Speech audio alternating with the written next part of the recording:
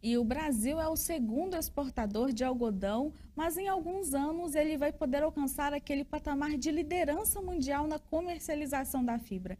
Esta é a meta do projeto setorial Cotton Brasil, que prepara e divulga a imagem do produto algodão como melhor alternativa no mercado internacional. A missão de colocar o algodão brasileiro na liderança das exportações mundiais é da Apex Brasil. A iniciativa acontece com o projeto setorial Cotton Brasil, realizado em parceria com a Abrapa e, na prática, divulga nos mercados estrangeiros a qualidade do produto. Hoje, 20% de todo o algodão exportado no mundo é produzido no Brasil. Entre janeiro e novembro de 2022, as exportações da pluma alcançaram o volume recorde de 3 milhões e 400 mil dólares, um crescimento de 15% em relação ao mesmo período do ano passado. Segundo Rafaela Albuquerque, gestora do Cotton Brasil, o mercado asiático é o destino de 99% das exportações da fibra.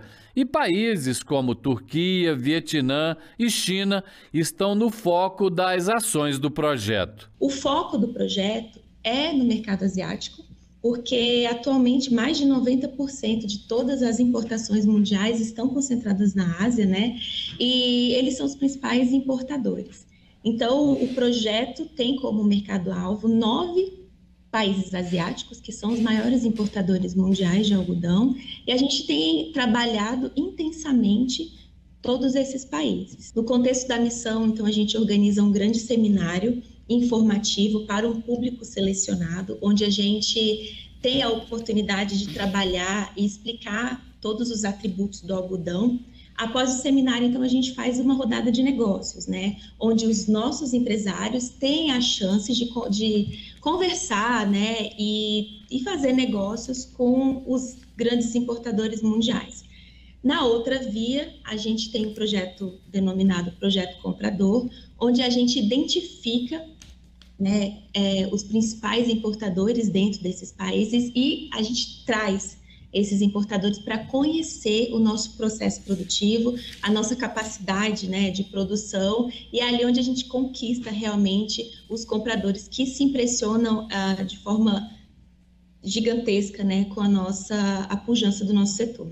A sustentabilidade do algodão brasileiro com o certificado BCI é um diferencial importante que vem abrindo as portas do mercado externo. Na esfera da sustentabilidade, ah, nos últimos, digo que na última década, o setor ele se adaptou para atender os mais altos padrões de sustentabilidade em cultivo de algodão em busca de um selo internacional, que é o BCI, que é um dos principais selos reconhecidos no setor, e que para você ser certificado, né, ter o selo BCI, você precisa de cumprir com uma série de requisitos.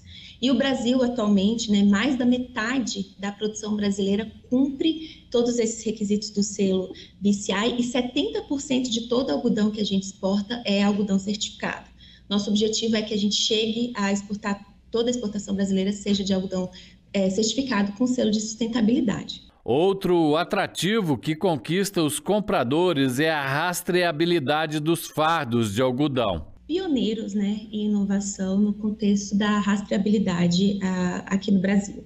A gente tem a capacidade de exportar todos os nossos fardos com um QR Code, onde o importador, assim que ele recebe aquele fardo, ele lê o QR Code e consegue identificar todos os atributos técnicos do fio do algodão, aonde que o algodão foi produzido, ele vai lá na fazenda onde o algodão foi produzido, ele tem o contato da fazenda, né, onde ele pode trocar informações e, e, mais uma série de informações técnicas sobre o produto. No ranking das exportações mundiais de algodão, o Brasil fica atrás apenas dos Estados Unidos, mas com o projeto Cotton Brasil, em sete anos, deve ser o maior exportador da pluma. Atualmente, o maior exportador mundial uh, são os Estados Unidos, né? A gente tem cada vez mais diminuído a nossa diferença, porque temos investido bastante na produtividade do algodão. Então, a gente consegue produzir cada vez mais algodão com menos terra. Além disso, a gente tem adaptado as nossas técnicas para a gente produzir algodão, que a gente chama de algodão de segunda safra. Então, a grande maioria das fazendas utilizam a entre-safra da soja para a produção do algodão.